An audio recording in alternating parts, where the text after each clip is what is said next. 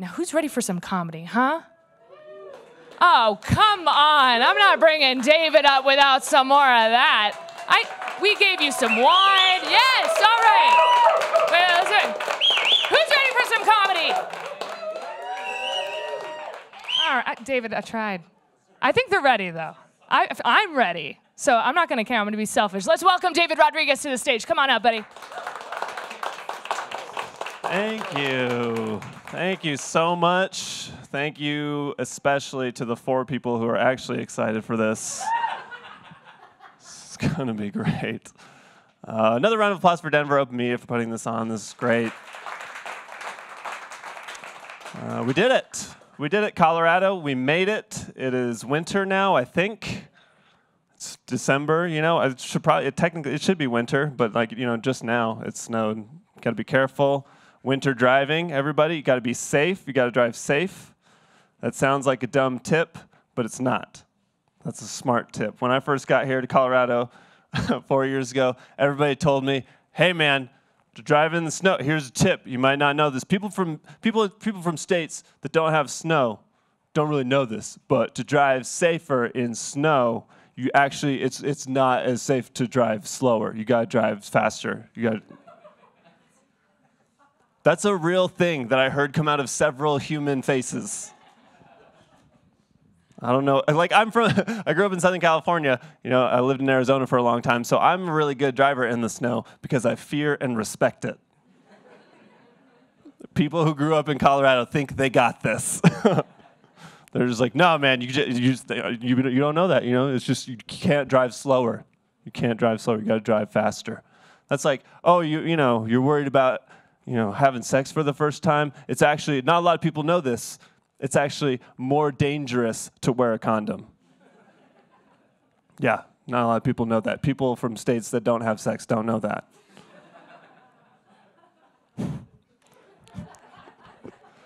It's how we drive here in Colorado in the snow. We drive fast, we drive kind of drunk, no condom. That's how we do it.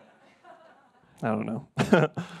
I do a lot of driving, uh, doing comedy. I get to go all over the state, which is great. I've seen some cool towns in Colorado. I've been to some very small towns. I got some small towns in Colorado.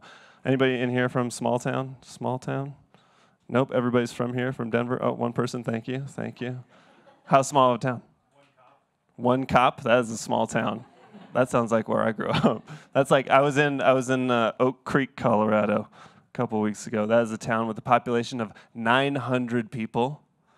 That is small. It's like by steamboat. It's like out there. Yeah, it's a, that's a small town. Like here's how here's how small it is. I got there and I found out that the person who booked me on the show is the mayor of the town. and also the bartender at the venue. That's a small town. it's so small they were smoking cigarettes like inside the bar. And I was like, I didn't know you could legally do that anywhere in, you know, in the state of Colorado. And this old dude in the front, and he's smoking a cigarette, he just looks up at me and goes, Who are you gonna tell? He's wearing his Make America Great hat again, you know? just, nobody. I don't know. I don't have, I, I don't know I said, I don't really have any commentary on the election. I don't have jokes about that. You know, we're not really gonna, gonna talk about it. I will say, I will say that like the aftermath the reaction to that has been pretty extreme, the backlash from Donald Trump getting elected. Like, I've heard people say that this election marks the end of humankind, which is a little extreme. But I mean, like, I, I was driving down here on 25 and I saw somebody fully using a laptop with two hands while driving. So it's like, how much longer do we really have as a species, you know? I yelled at him. I did. I yelled. I rolled down the window. I was like, "What's your Wi-Fi?" I'm out of data. I got a tweet about how the snow is affecting my drive. He, he didn't hear me though. He was driving too fast. Um. Everybody's real outdoorsy in this state, I've found, especially in the smaller towns I've been out. Yeah, everybody does a lot of hiking. They do all that. Like, I'm not, I don't do that. I'm not an outdoorsy guy. Uh, like the, I don't, I don't like hiking. Everybody's got the, the Facebook profile pictures when you when you go and you hike a 14 or you got that picture. You write the elevation of the mountain and you hold up the little sign and you're just like, yeah. I don't like that. I just don't. I don't think you should get credit for all of those feet in elevation. You didn't hike all those feet. You know. You start here in Denver, it's 5280. You're driving another couple thousand feet up to the trailhead. At the end of it, you're walking up like four flights of stairs at most. like I did it. You're not an athlete for doing it. That's all I'm saying. You know. It's like you don't holding up that elevation. Like you don't see people who run marathons. They're not putting that 26.2 sticker on the back of their car. Like they're not driving the first 22 miles of that race. Eating green chili and vaping the whole time, you know? Like that's not an outdoorsy guy. I don't. I you know. I'm just not like the most in tune with nature I've I've been since I moved here. It's like today I forgot my phone when I went to poop. You know what I mean? Like that's just sitting there. Like, is this camping? Am I camping right now? Is this is this it? Is this what it's like? seeing spirits, you know? Treat every trip to the bathroom like a camping trip. It's great. You bring an 18 pack of beer, acoustic guitar, make a day of it. Tying my sandwiches up on the shower curtain rod because of bears. I don't know. This joke doesn't have an end to it. I don't know anything about. I don't know anything about camping. bears. I saw. I saw in the in the paper the other day. The headline was uh, "Camper Killed in Tragic Bear Attack," and I mean, it, sad, sure, but it's like, do we need the word tragic in there? I don't know. I mean, he's, he's, you're camping. Like, I feel like we could reduce the amount of bear attacks if we stopped calling it camping and started calling it breaking into bears' houses. like, you never see the headline, like, scuba diver tragically eaten by shark. It's just scuba diver eaten by shark. You're like, well, yeah, what did he think was going to happen? you know what I mean? It's like, like the whole time, the whole time you're reading Goldilocks, you're not just like, I bet she's having a great time in that cabin she just randomly found in the woods. You're like, get out of there! Stop eating all this random oatmeal. Get out of there, little white girl. That's not.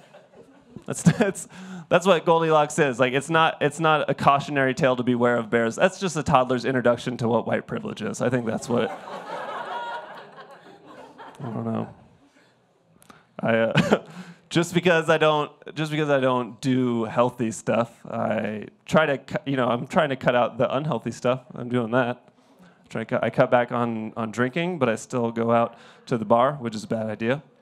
Like ordering ordering a non-alcoholic beer at a bar is like one of the most awkward things you could do no matter what no matter where, where you are the bartender always looks at you like you ordered sex with no orgasm you know they're just like no alcohol. He's like, you know, that's the part people like. Okay, okay, that's all right. They gotta look.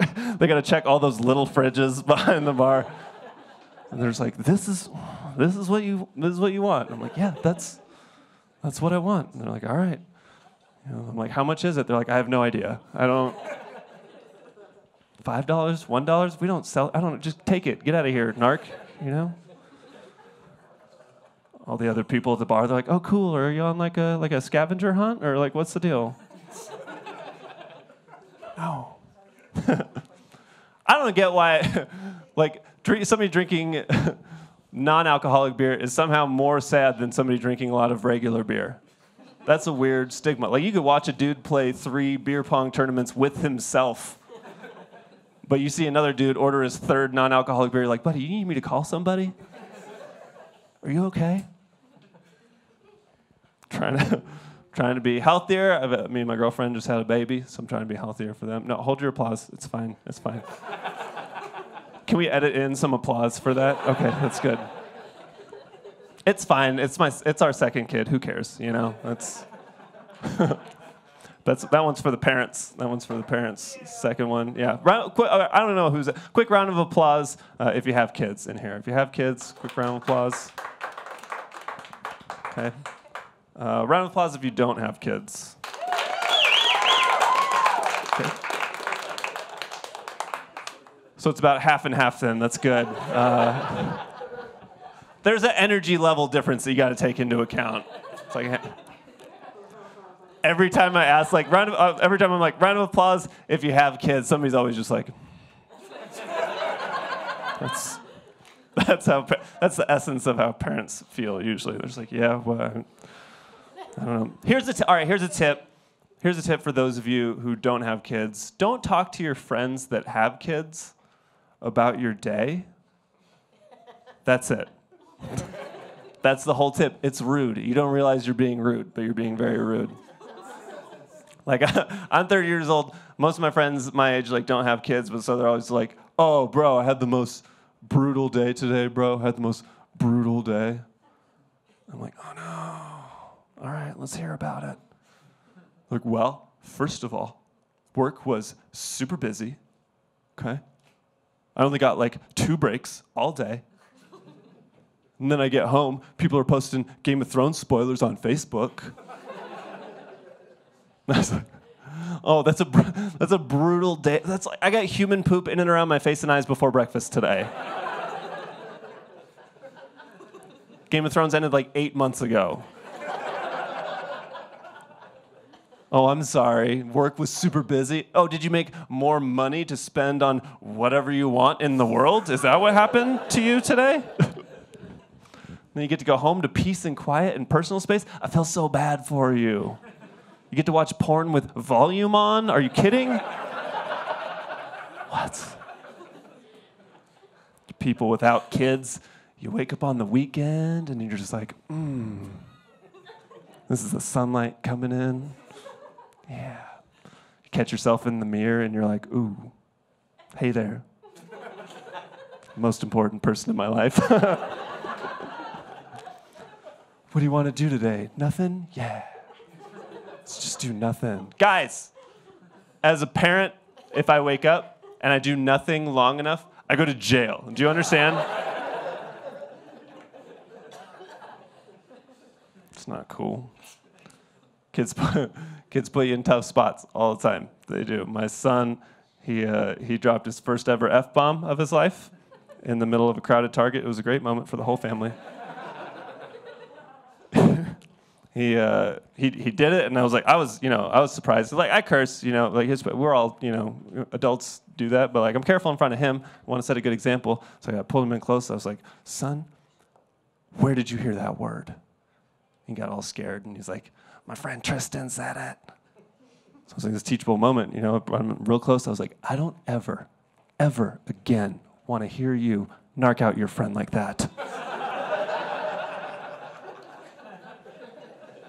Snitches get stitches. We know the rules. We know the playground law. Especially don't want to be snitching on a kid named Tristan who's dropping F bombs in the first grade. That kid's probably badass. That's the kid who's going to be caught smoking cigarettes in middle school, and the teacher's going to be like, Tristan, are you smoking cigarettes? He's just going to look up at her and be like, Who are you going to tell? You know what I mean? Thank you guys so much. I've been David Rodriguez.